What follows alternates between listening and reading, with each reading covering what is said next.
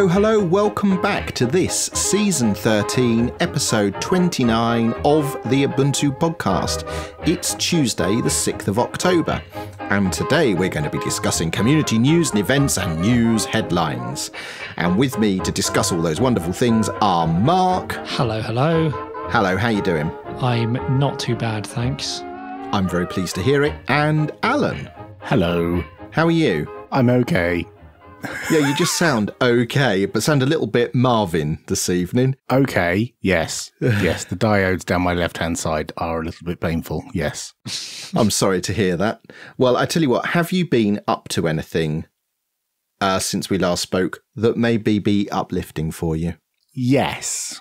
Uh, I have an ever so slightly cleaner house thanks to a new house guest whose name is Harvey. Oh. And he is a robot vacuum cleaner. um, and he uh, he traverses the floor in various rooms in the house, picking up dead skin cells, dust, hair, cat vomit, whatever, and uh, keeps it in a little plastic box. And then I go and empty that little plastic box on a periodic basis.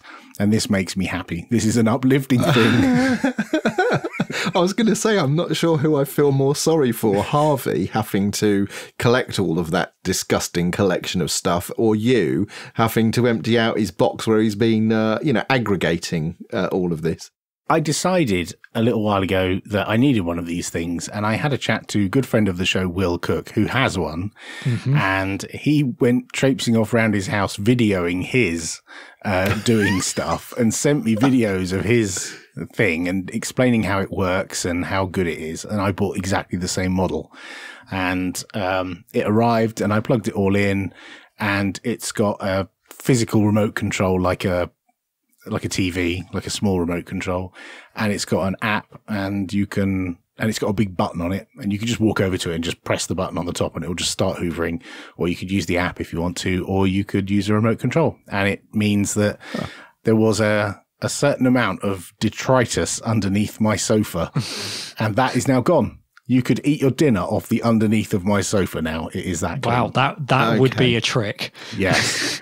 so have you have you had to rescue it from any unfortunate situations? Uh, it turns out yes. Um, these these robots are not particularly clever and they become stranded sometimes and I get little notification messages on my phone telling me when he's stranded or if he can't if he can't figure out the way back to the charger because he, he he trundles back can't to the charging point. the way to the charger. Yeah, and the charger. I mean, you guys both know the layout of my house. He's in yes. the lounge. The, yeah. in the corner of the lounge is where the charger is, and he goes trundling off out into the dining room, through the kitchen, out into the bathroom, and into my bedroom downstairs. And it's all like mostly wooden or yeah, it's flat floor, um, and the lounge is carpet, so he can traverse all of this stuff.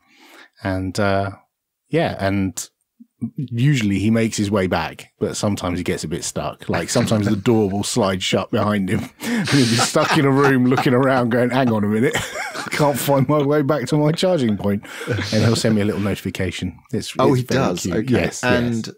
and is Harvey a brand name or an affectionate pet name that you have given this um, assistant? It's a pet name. He's named after Harvey Keitel, I did wonder who uh, plays the part of a cleaner in cleaner, Pulp Fiction. Right. I was going to ask that question at the outset, there, but there is, there is no itty bits of brain that he needs to clean up, though, or uh, or blood all over the back of a car. No, thankfully. no, he's got cat vomit to deal no, with. Yes. altogether a different. yes. Wow. Okay. Um, Mark, have you been uh, adding robot assistants to your home this week? I have not. I have been adding games to my gaming collection. Ooh. Ah. I'm not Should ask, we even guess?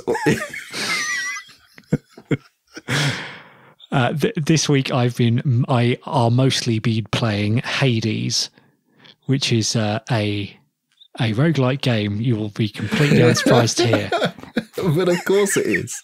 This is from Supergiant Games, who made uh, Bastion, which oh. got quite popular from one of the early Humble Bundles, I think.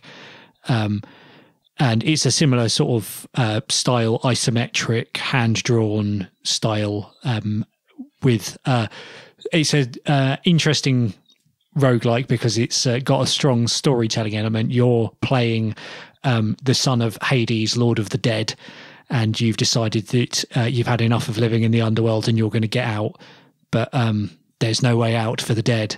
So you are fighting your way through the legions, and uh, every time you die, you go back to the start because you're where dead people belong in the first place.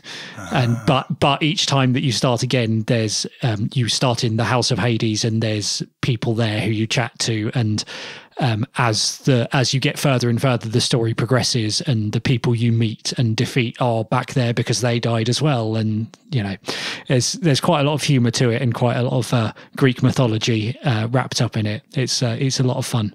It's very stylish. I, I like the uh, cartoon style and the neon colors as well. Yeah. It's very bright and vivid, but very cartoony at the same time. It, Mm. it reminds me a bit of um, Thundercats for some reason. I don't know why, but yeah. And the the reviews show us overwhelmingly positive, Yes, so that's good. I know. I'm playing a good game. Who'd have thought? Yeah, I'm I'm aware of this game um, because about three years ago we did a story about Jim Sterling and his copyright deadlock Oh, yes. that he discovered. yes, we did. And ever since then, I've been a subscriber to his YouTube channel and, in fact, his Patreon as well. He reviewed this game this week, and he doesn't just think this is his game of 2020, but he puts it in his top three games of all time oh wow! and waxed lyrical about it and said it's just a wonderful game. And I think he's played it through multiple times and was talking about the fact you can play it through many Yeah. times over and Yeah. take different routes through the game and different choices. And How many hours have you clocked up yet, Mark? Oh, um, I've probably uh, played about 15 hours so Oh, far, wow. and I bought it at the weekend. Oh gosh! okay, uh, Wow, that's okay, great. so that's quite a lot. Yeah. Eh, And how much was it, just out of interest? Uh, I can't remember about 20 quid. I think I got it on the Okay. Switch. I think it's the, about the same on Steam as well. Okay, so you're playing it on the Switch, but it is also available on Steam. No Yeah. idea if it works in Proton or not. So, any adventurous listeners who get that, let us know if it works or not. That is tremendous value for money, really. Yes. When you think about it, twenty quid, and you've already clocked up fifteen hours. Yeah. games never cease to amaze me at how much you know you can invest. It feels like you're investing a chunk of money, but actually the amount of value you get out of it is hmm. tremendous. Yeah, you make a good point. I always equate the amount you spend on a game to the number of pound coins I would have put into an arcade machine and the number of hours of uh, fun and entertainment I would have got out of like depositing Yeah. coins into an arcade cabinet. I, I compare it to going to the cinema and buying a hot dog, and uh, if if it can compete with that, then brilliant. Yeah. Brilliant. Right, enough hot dog nonsense. Let's get on with the community news and events.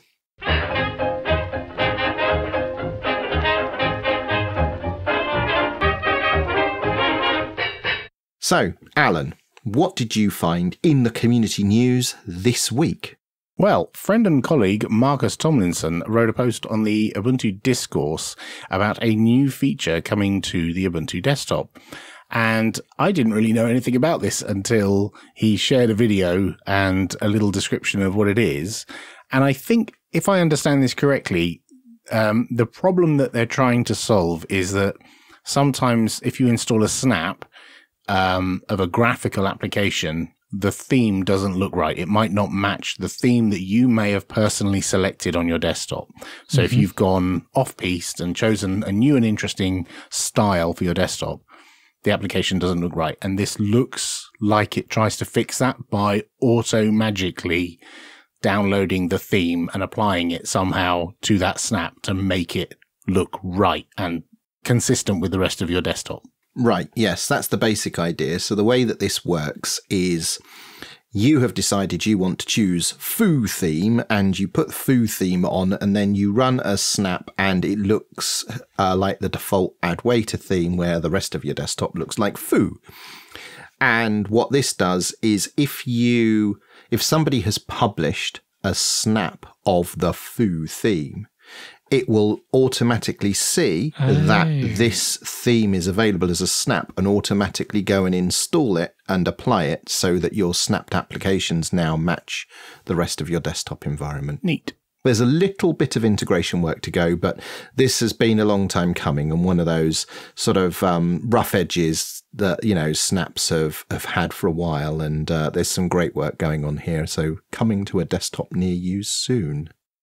Mark, what did you find? Well, OMG Ubuntu has reported that Groovy Gorilla now has its new default wallpaper. And it's a very groovy gorilla indeed. Yes. So it it has the mascot for sure. It does. Yes. No. No laser beams like No laser beams. Um, coming out of his eyes. In fact, But, uh, well, quite you the can't opposite. even. Yeah, yeah. They they may be coming out of his eyes, but they're blocked by his Ubuntu branded uh, tinted shades. Yeah, I need a pair of them. I hope they'll be Yes. in the in the merch store. So this is indeed the Groovy Gorilla mascot, uh, which doesn't feature in the desktop images yet. So uh, we'll be adding that in the next couple of days. And by the time you listen to this, uh, head on over to the Ubuntu discourse because I'll be posting a full set of the wallpapers, coloured and grayscale, and the mascot himself as an SVG so that you can make your own derivative wallpapers from it as well. Does the mascot have a name this time? Uh, well, Gerald? none I've heard. I mean, it could be. I mean, there is a gorilla called Gerald, isn't there? Yeah, we we haven't always named them. They they haven't always had names. Last one did, but th- yeah, I think we need we need to get uh, audience participation on this one and come up with a name for. It's got to be a sufficiently groovy name for a gorilla. Yeah. So here you go, listeners. Show at ubuntupodcast.org or at Ubuntu Podcast on Twitter. Send us your ideas for names for our groovy gorilla.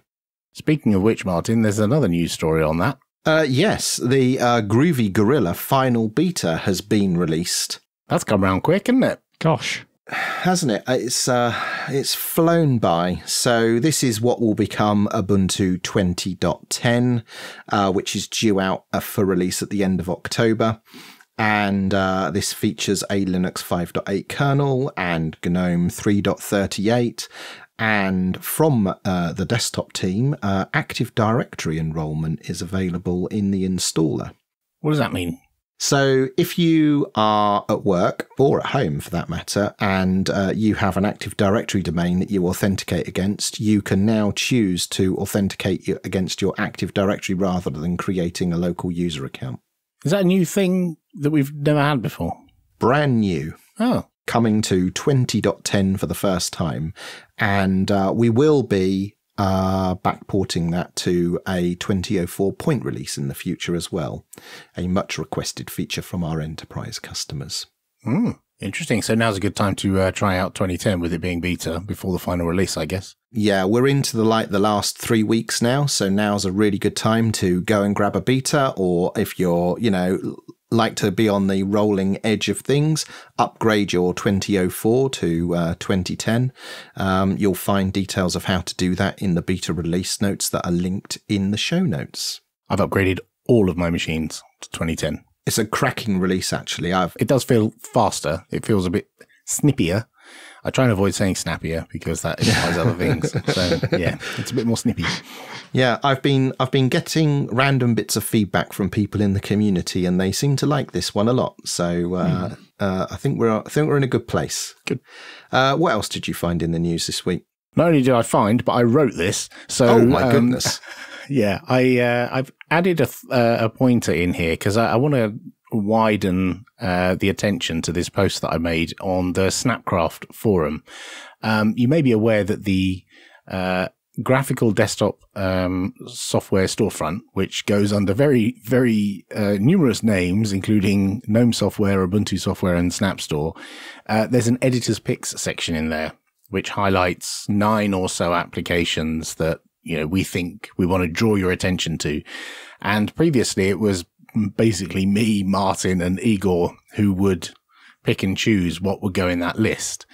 And we decided, why don't we just crowdsource this and ask the community what applications they think should be featured in that in that list. Um, and I I started a thread over on the Snapcraft forum because these are snaps, and so that felt like the right place to do it. But I wanted to get wider attention to this post. Uh, we did it two weeks ago and it was successful. Loads of suggestions, some suggestions from people who like particular applications and want, you know, other, want to share it with other people. and also suggestions from developers or publishers of applications. So people who've published somebody else's game or people who've written their own software and published it in the store and they want to raise the profile of it. We go through and curate the list and then we update the editor's picks on the Friday. So I started that th- a second thread Monday just gone and this Friday we'll close that thread, gather up all the suggestions, figure out which ones are appropriate, which ones might not be, and we'll provide feedback for those that aren't and for those that are, they get put forward to um, be featured. And it's useful because it it raises the profile of these applications. Like some of them get quite a jump in installs. There's one that I published that happened to be listed, uh, not because I chose it, somebody else did, and that one quadrupled in user base in a week after being featured. And another one that's got a slightly larger user base already jumped by 40% uh, number of users just by being featured in the store. So it's quite useful for developers to get more users, but it's also useful for users to be able to discover new software that they didn't know about. And and you met, you know you talk about forty percent uplift. We've known this for some time that when when we feature something in the store, publishers tell us, "Hey, I've now got loads more users than I had two weeks ago," which is interesting because as power users, you know, snap install on the command line or apt install on the command line, we would be forgiven for thinking that's how everyone does it. But actually, it doesn't seem to be the case at all because the stuff that's featured in the store, we always see an uptick in adoption when uh, it appears in the uh, graphical storefront. Yeah. Weird. People on desktops use graphical storefronts. Who knew? Yeah, indeed. so I read with interest that a project that I was aware of from the past has been updated and had a significant update at that. I'm not sure how you pronounce this. It's, it's either Touch Egg or Touche Egg. Um, uh, 2.0.1 has been released and it's a means of exposing trackpad gestures in your Linux desktop. Uh, and it's had a significant update to uh, bring it up to spec with all of the capabilities and technologies that exist in desktop Linux today. Huh. This used to be called something else, I have a feeling. I think it was called something else, and there was a trademark problem, and it got renamed to that. Touche, touche or touche or touch egg or whatever it is. Right. Yeah. I, I vaguely remember that from around the time of the phone project. So yeah, this has been around for a long while. Well, the last time it had a significant update was 2011.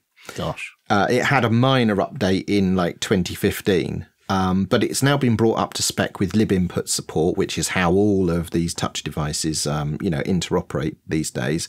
And it's now got one to one animation. So it, um, this is something that you and I touched on a few years ago when I was implementing this stuff or prototyping it in Ubuntu Mate. You were saying, well, if you start doing something, can you like pause partway through? And well, this this is the implementation of that and it supports um, swipe and pinch gestures, and then you can uh, map s- different types of swipe and pinch gestures to maximizing windows, minimizing, closing, tiling, changing desktops, showing the desktop, or sending key macros or running commands. Oh, this is very nice. This would actually tie in very nicely with a tiling window manager, wouldn't it? It would rather, yes. Um, so uh, we'll have a link to the GitHub project in the show notes, where in their releases page you will find a .deb file that you can install and try out. I haven't tried it out. I've read about it, and it's on my list of things to do. I just haven't mm. got round to doing it yet. So I've just checked the repository, and yep, you're right. It hasn't been touched for for a little while, and then there's been a flurry of activity. And I'd like to retract everything I said about it being renamed of another project. I was wrong. It's not. Forget. Forget it's something that. else. It's, that's something else entirely. And Mark, uh, what did you uh, find in the news this week that might not be dead? Once again, Mir 2.1 is not dead. Among other things, it now works on the Raspberry Pi 4 uh, X11 applications can now be run in a confined desktop via X-Wayland and a bunch of other bug fixes that come with implementing a brand new display stack. I don't know what that means. I think the suggestion there is um, when you implement a brand new display stack, you're going to find bugs. Oh, I see. Uh, like historical stuff doesn't work on this new display stack, and there's a whole load of X related stuff in here, like for X Wayland. The thing that caught my interest was the Pi 4, because I've mm. tried mm. using uh, appliances with Yeah, a full yeah. screen, you know, graphical environment, and I was doing it on a Pi 4, and it frustrated me that it that it didn't work. So I'm glad they fixed that. So I'm going to have another go at running like maybe emulators and things like that full screen on a Raspberry Pi under Mir, which I think might be a fun thing to do. Yeah, sounds good. Uh, and astonishingly, we have events this week. So, Good golly. uh, Alan, what's the first ev- event that we've got here? The first one is a celebration, uh, and it is that the Free Software Foundation is 35 years old. Good lord. Mm, GNU Hurd's nearly there. And they're having an anniversary. Sorry, that was just an easy swipe to make. They're having an anniversary party on Friday, October the 9th, uh, at 12 Eastern. That's 4 o'clock UTC until 5 Eastern. That's 9 o'clock UTC in the FSF channel on Freenode IRC. Oh, there ain't no party like an IRC party. Oh So my my goodness. Uh, I think actually there's there's going to be video presentations and stuff as well. Some pre-recorded, some live, um, and they've got um, a website. I think it's fsf.org um, slash event slash fsf thirty five where you can find out more. We'll put a link in the show notes, uh, but it's all part of the celebration of them, you know, being thirty five years old and uh, lobbying for freedom for the user for the, all those years. And Mark, what have you found? registration for the Linux Application Summit is now open. Um, so this is um, an event. I think we've spoken about it a few times before. We have. Um, Yeah. So this is bringing together people who want to make applications for the Linux desktop. Basically, in general, it's not tied to um, either KDE or GNOME. It's a, a coming together of the communities of graphical Linux developers. Yep. Um, and I can probably tell you when it is if I pay attention. Uh, it is November the 12th to the 14th, uh, and it's online. You can find it at linuxappsummit.org. And finally, we have Mini DebConf. And it says here that Mini DebConf Online 2 i- Gaming Edition is four days of Debianites working together to learn, have fun, and improve Debian. Why is it called Gaming Edition? I think they they're um, focusing on how they can do things to improve gaming on Debian, basically. Huh. Okay. Yes. Uh, so we'll have a link to the show notes, and that will be taking place on the 19th to the 20th of November, and their uh, call for papers is open now. And with that, let's move on.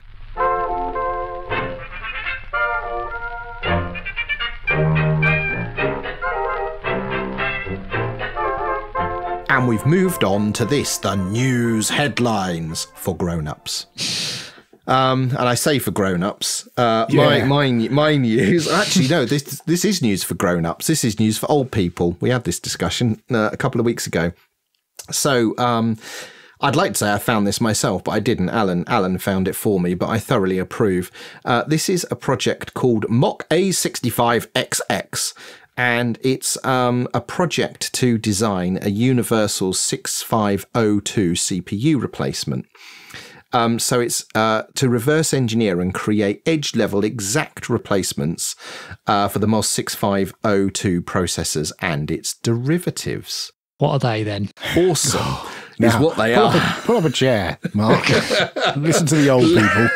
Let me tell Is this, you a story. is this one of those ones where we're playing um, vintage computer top trumps and you start arguing about which one's the better Yes. processor? Yes. Right. Yes, That's exactly this, what this one. This one is the best processor. The one we're talking about right now is the one that always wins. This is the one that nobody uses anymore, whereas the Z80 is the one that's still manufactured and still in use. Yes. I have yes, several of them in computers behind me, and they work fine. But what I like about this is that um, it enables you to um, it, it implements a number of the 6502 family derivatives, including uh, the 6510, which was also known as the 8500, which is what was used in the Commodore 64. Um, so the creator of this project has got their first um, silicon prototypes or their final silicon prototypes that they're testing. And I was scouring the page looking for the buy it now button because I really wanted one of these. Because earlier in the year, I created a, uh, a Commodore 64 based on original silicon, but a modern motherboard.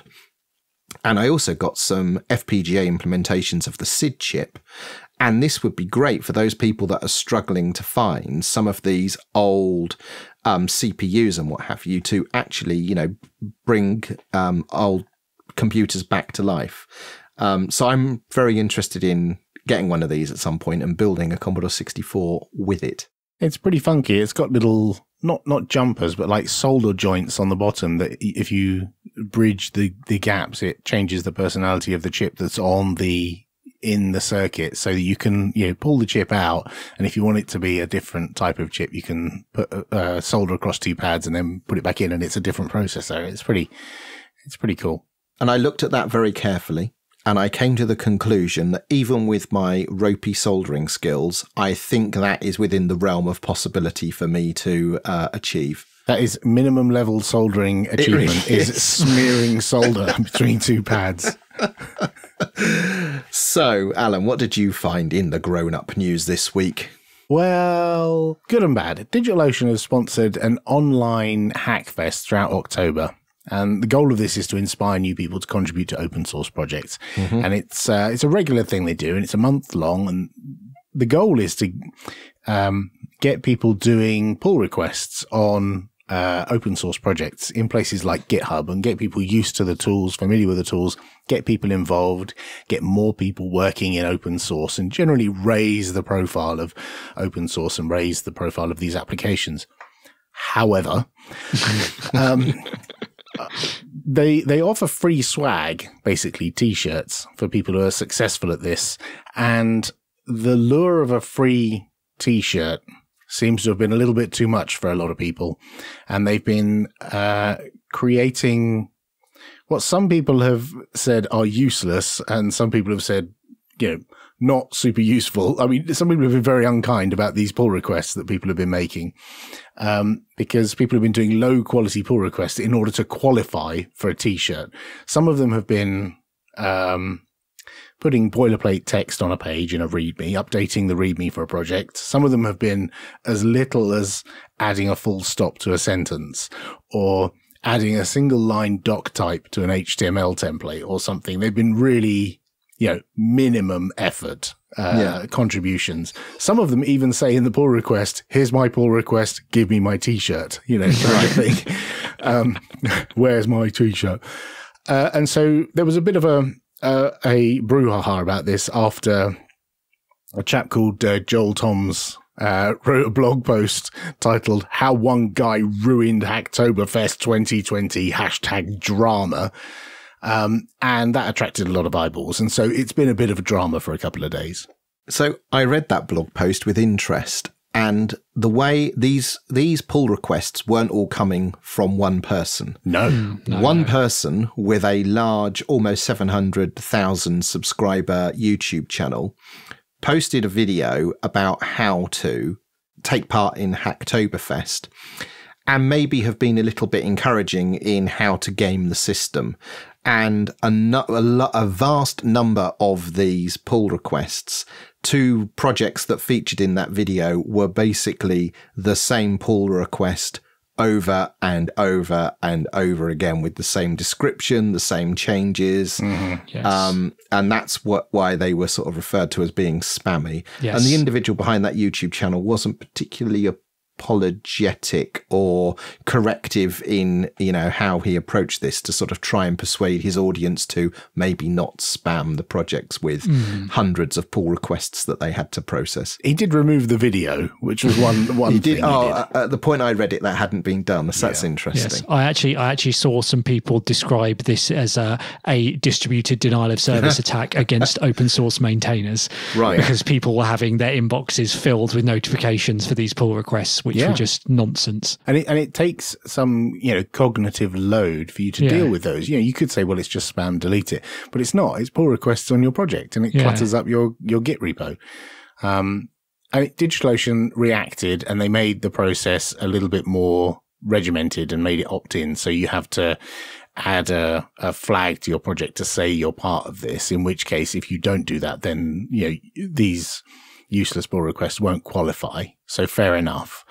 But it certainly does, um, it rings bells with me because we've seen this in Ubuntu when we've tried to um, cast the net wide to get contributions.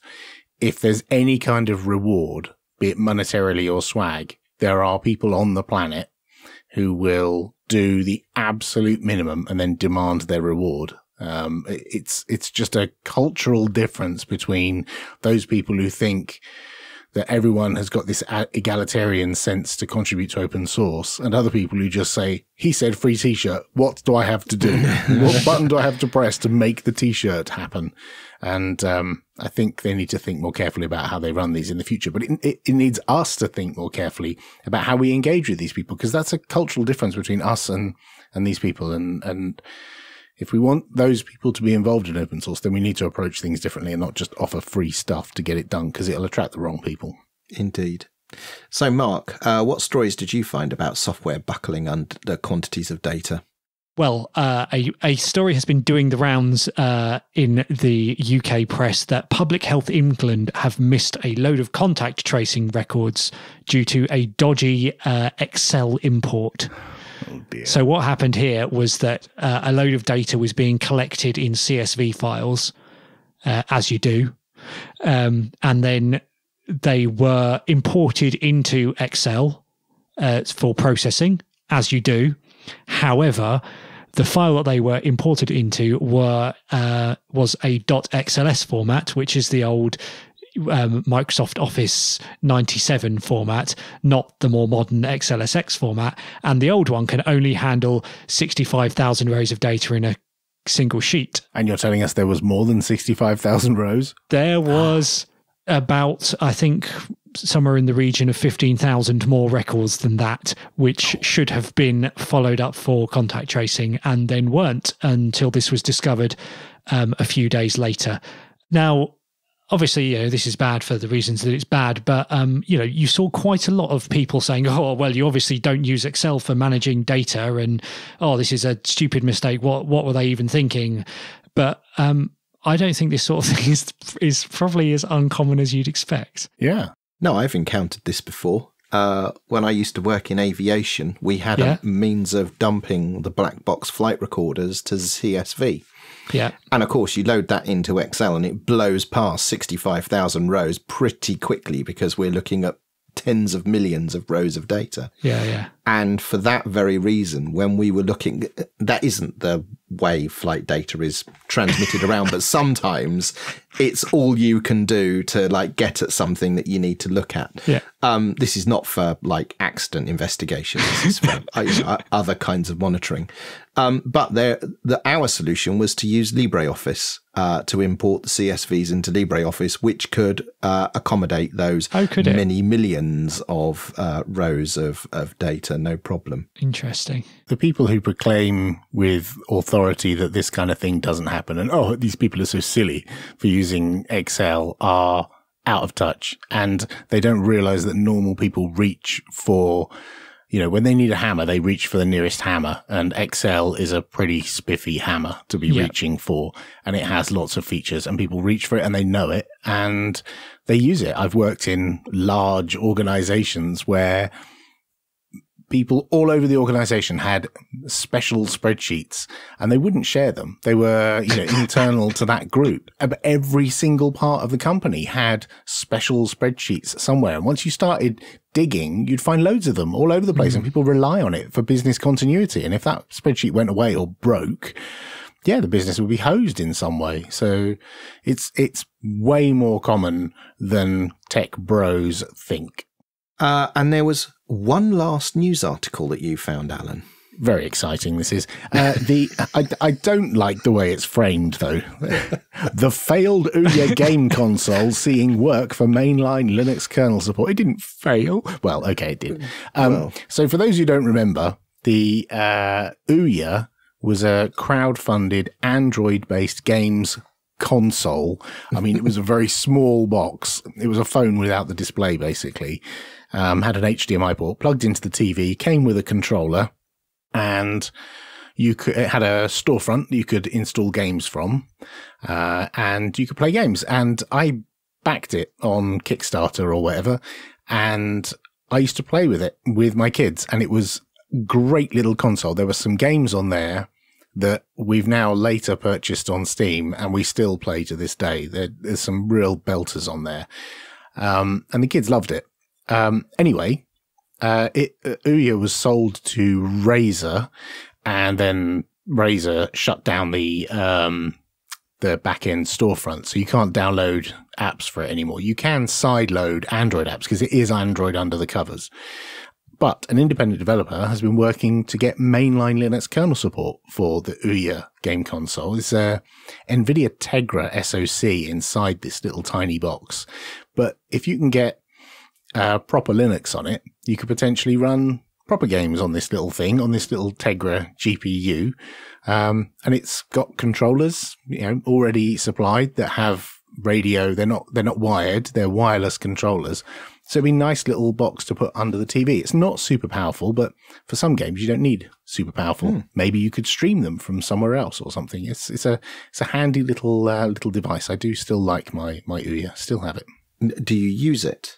No, it's currently in the loft. But, um, but it's not on eBay yet. No, the kids every so often do ask me, "Can we get the Ouya out and have a play with it?" And, uh, you know, I haven't yet, but I may do. Okay. And what was their top game on the Ouya? So there were three.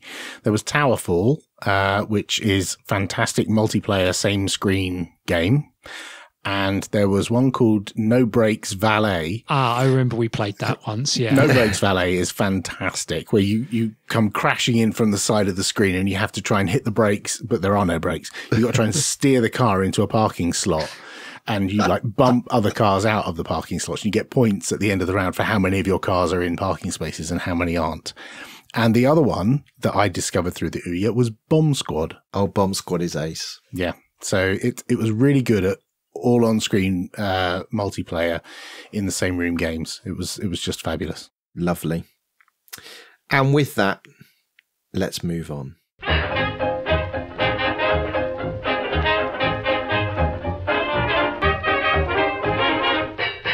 And I say move on, but that is the end of episode 29. So if you would like to send us your great, great feedback, you can email us at show at ubuntupodcast.org or you can join our Telegram chat, ubuntupodcast.org slash telegram. And if you are seeking a fine, fine VPS, then head over to bitfolk.com, who've been providing our VPS since the podcast began. And in fact, it's the same instance that's been updated all the way from Ubuntu 606 to 1804. So, in your face, Arch Linux users, it's a 14 year install. Go us. Thank you all for listening, and we'll speak to you next time.